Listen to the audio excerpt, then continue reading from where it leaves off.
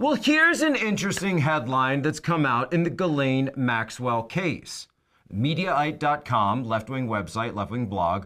Ghislaine Maxwell ends fight to keep John Doe names sealed. Oh, that's interesting because I remember when I talked about the Epstein Network names being sealed, that Newsweek and everybody else was running up and saying, "Oh, Posobiec, you know that that that's not what happened. Those names aren't sealed. Don't talk about those names." No, he's conflating this case and that case. I, look, I understand the situation. The names of the Epstein Network are sealed.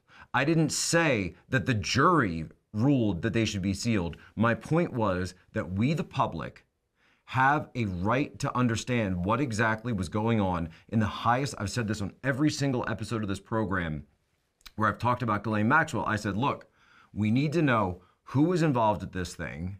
Why have they not been charged if they were involved in this? And you can go to Mediaite right here. It says, Prosecutors described this as Epstein's pyramid scheme of sexual abuse of minor girls okay, if this was a pyramid scheme, then who were the other people involved? Because we can see people like Jean Luc Brunel, who has been charged, Ghislaine Maxwell, who has been charged. Brunel, of course, was a French model recruiter. He was uh, Epstein's procurement guy from Europe. Then we've got Maxwell, the procurement uh, madam from the United States. What's going on? Who were the people procured for? Who were these girls, these victims, procured for? Who was the pyramid scheme with? Was there blackmail involved in this?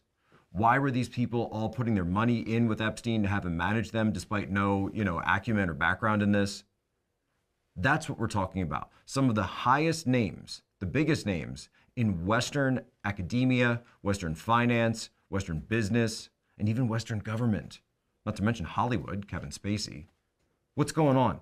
Explain to us what's going on. That's why it's important that the names come out. And we know that the names of this pyramid scheme have been continued to be sealed. One of them, by the way, that has come out is, of course, Prince Andrew, who was just stripped of his official title. So now, in his lawsuit against Virginia Giuffre, who is the victim that's been suing him in terms of all this, really one of the, the first victims to come out and get the ball rolling in terms of all of this, he's got to now face that as a private citizen someone who's literally a member of the royal family, the second son of Queen Elizabeth. So listen to the, one of the lawyers in this situation, Gloria Allred, describe that case and Virginia Giuffre. The prince is going to be in a world of hurt and a world of trouble, not comfortable to have to sit there and answer questions in this lawsuit, which is alleges that he was sexually inappropriate with uh, Virginia when she was only 17. Now, here's the Mediaite story. Virginia Giuffre's request to unseal documents that name names in her since settled civil lawsuit against Ghislaine Maxwell, which led to a lengthy and ongoing open records battle. In December of last year, a Manhattan jury in Maxwell's trial returned guilty verdicts. Uh, Maxwell faces federal charges vi- under violations of the Mann Act and sexual trafficking of a minor for her role as Epstein's longtime confidant and now convicted accomplice.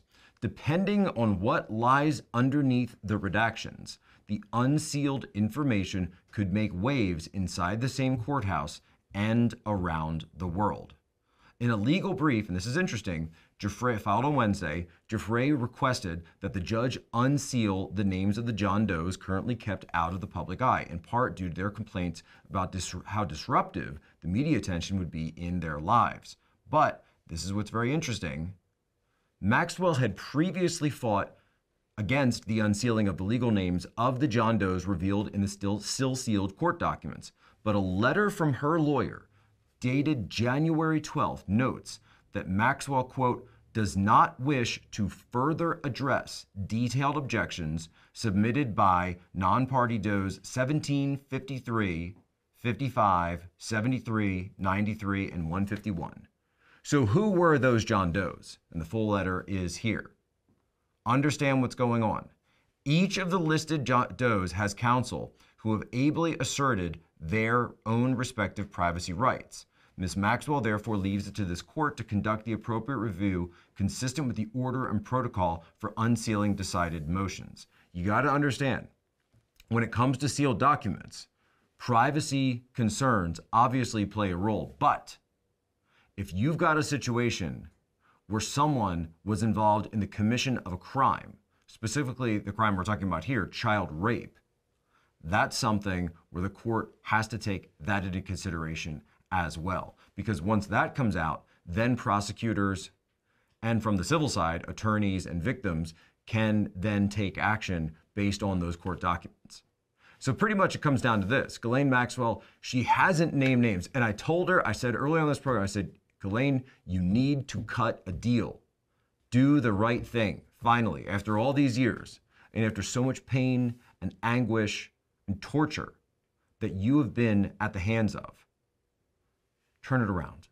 Do the right thing. Be the person that says, now it all stops.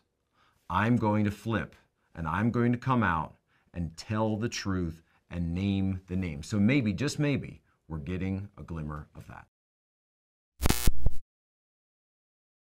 This is Charlie Kirk, founder and CEO of Turning Point USA. If you liked this video, be sure to subscribe to our YouTube channel at Turning Point USA.